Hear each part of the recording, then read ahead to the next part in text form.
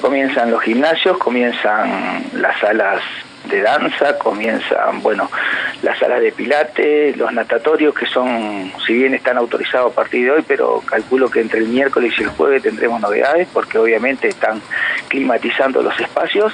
Así que bueno, un nuevo desafío a partir de hoy y bueno, estuvimos todo el fin de semana trabajando con, con cada uno de los propietarios, en todos los que pudimos llegar para, para ver cómo están las medidas de prevención y para que cada uno de los vecinos y la vecina de la ciudad que decidan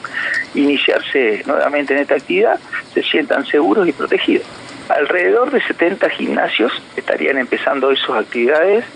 más de 30 centros de pilate y más de 30 centros de danza en la ciudad de Neuquén, así que es un movimiento bastante bastante grande, interesante y bueno, que venía también reclamando la apertura y bueno, del gobierno provincial en conjunto con, con el comité de crisis se pudo lograr, así que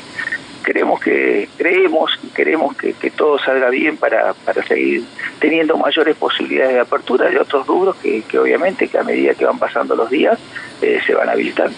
Y están quedando las actividades de deportes en contacto, como puede ser el karate, el taekwondo, el kendo, el kempo, eh, actividades como las canchas de fútbol eh, y bueno, y obviamente los deportes en conjuntos que tienen que ver con mucho con las, las instituciones, con los clubes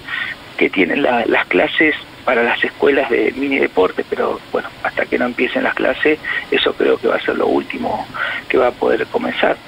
Ya se han presentado y estuvimos trabajando ayer en algunos protocolos, así que en forma individual muchos de los de los integrantes de las canchas de fútbol y de otros de otras disciplinas han acercado a quienes corresponde el protocolo para, para ser tenido en cuenta a partir de los próximos días eh, en esta apertura eh, racional que se va haciendo del gobierno provincial y del gobierno municipal.